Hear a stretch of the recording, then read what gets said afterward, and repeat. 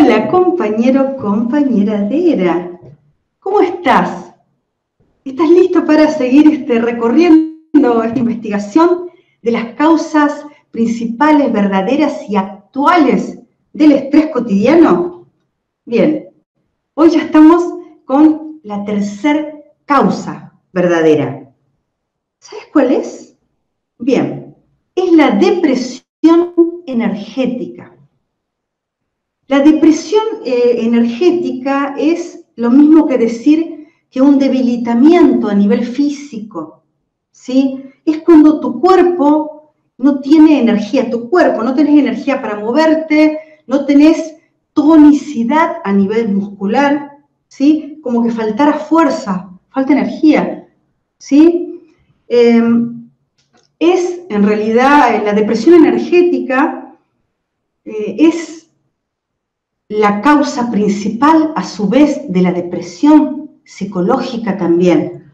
Yo sé que esto es este, algo que parece muy extraño, pero la gente que está deprimida siempre primero decae la energía física.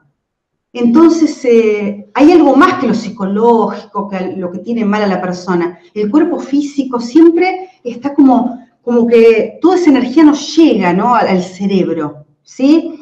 Eh, ¿Por qué se debilita energéticamente un cuerpo?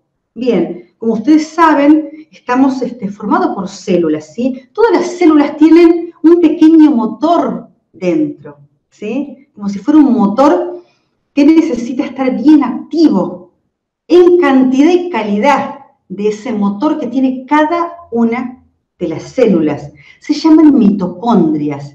Estas mitocondrias tienen que estar bien fuertes, ¿sí? Y aparte de estar fuerte, tienen que tener como mucha actividad. Ya les dije, cantidad y calidad. Si falla la cantidad o la calidad de las mitocondrias que están dentro de las células, la persona se empieza a debilitar. ¿sí? Esto es a nivel energético, empieza a perder como carga eléctrica, por lo tanto, es como tener eh, menos, menos potencia, ¿sí? Cada célula. Esto va detonando que el cuerpo empieza de las células, los tejidos no tienen tonicidad, van quedando flojitos, ¿sí? O súper relajados, al revés de estar con tonicidad, con vitalidad, van perdiendo vitalidad y glándulas, y así sucesivamente para que uno esté realmente sin, eh, sin esa tonicidad a nivel energético. Entonces, ¿qué es lo que termina originando cuando lleva mucho tiempo uno depresivamente en lo energético, que detona estrés. Y la persona va a estar mucho más estresada. Más cansado está ese cuerpo, más estresada está la persona. Esta es entonces la tercera causa de verdadero estrés. Recordalo, ¿sí? Si estás estresado, ten en cuenta que vas a tener que activar tu cuerpo, empezar a caminar, eh, a bailar, eh, no sé, ¿sí? Pero activar tu cuerpo, porque parte de esa depresión también tiene que ver con el sedentarismo en el que vivimos los seres humanos hoy en día.